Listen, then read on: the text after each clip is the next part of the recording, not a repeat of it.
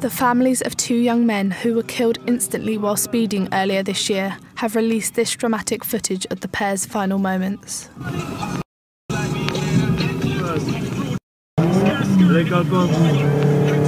20-year-old Carl Careford and his friend 21-year-old Michael Owen are seen here videoing their journey as they reach speeds of up to 90 miles per hour in the Sussex countryside.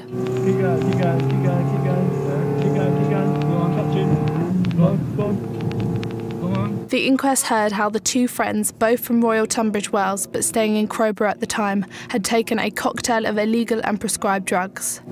Keep going, keep going. Full throttle, go. Come down this hill, yeah. Come down this hill.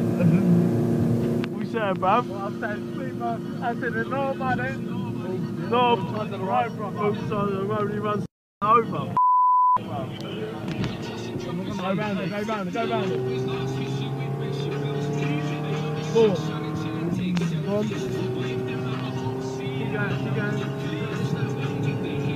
Keep going, keep going. Keep going, love me. My whole weeks I get money. I'm still.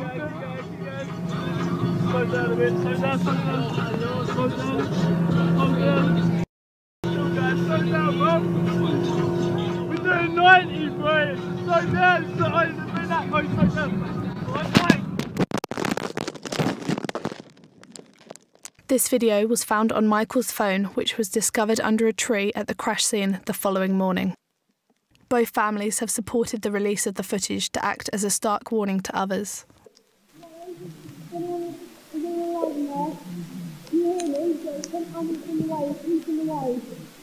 on there. You can't do anything on it now. No one hear me? Did you hear me? You don't ambulance coming. Hold on, come on. You don't one hear